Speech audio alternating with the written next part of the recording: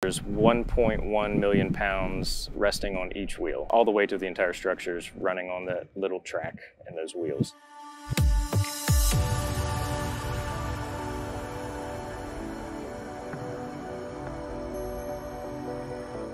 This is Anthony. He does maintenance on the telescope.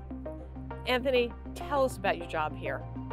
Well, I'm considered the uh, technical manager for telescope operations. So basically my job is if it moves, then I am responsible for it. So it has to do with motors, the track work, there's actuators, the whole dish itself, everything.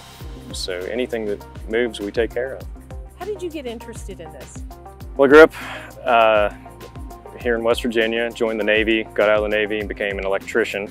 This is relatively local to me, so I've always had a fascination about the telescopes. So job came open and I showed up here. And... Can you tell us about the team of people that work on the telescope?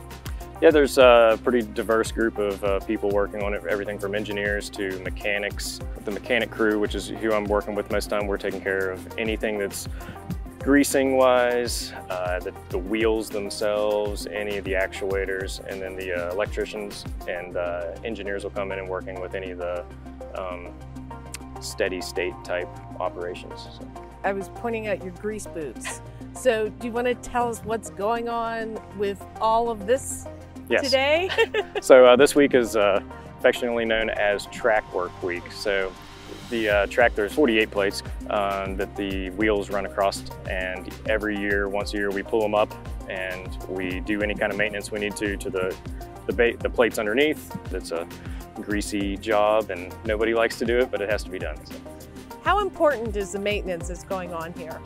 So the telescope is very, very precise instrument. So any, the track has to be precise, I guess you'd say. So as it's moving, we can they can feel the movement and they can tell the difference in the sound and it creates distortion. So if we keep up with this, it uh, makes observing easier for the data analysis.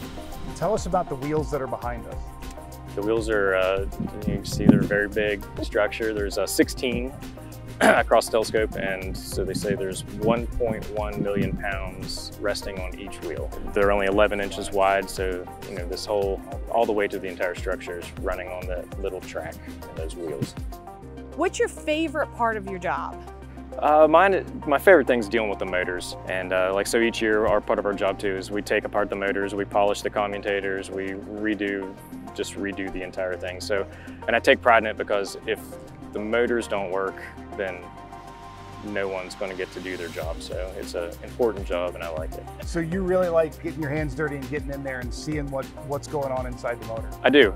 I always thought electrical engineering would be more about um, math and design, but it's not. I can get in there, I get my hands dirty every day, and I like to solve problems and just fix things, take them apart and rebuild them. So it's a pretty rewarding job.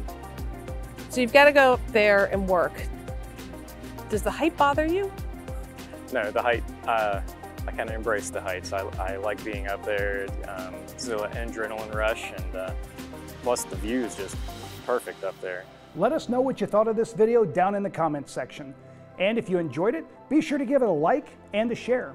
And follow STEM in 30 on Facebook and Twitter and subscribe to the National Air and Space Museum's YouTube channel.